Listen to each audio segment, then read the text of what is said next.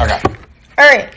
So you have to get the five dollar bill without moving the hand sanitizer Okay. or knocking it over. Gotcha. And if you can't do it, then I get the five dollars. Okay. But I can't do it because that's glued to the five dollar bill.